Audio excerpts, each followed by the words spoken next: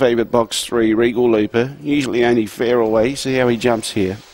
Tasman McLaren box eight expected to lead. Away in racing, Regal Looper crowded up early. Taswell McLaren's going to spear across and find the lead. Poetic Mover into second placing. Favourites trying to find room but can't. Into third placing, Just Crazy, four lengths from the leader. A gap then of six lengths to Regal Looper. Too far back to win, I'd say. Junta Bale's trying to go with it. Then behind those, Dinah Gray, Black Gecko.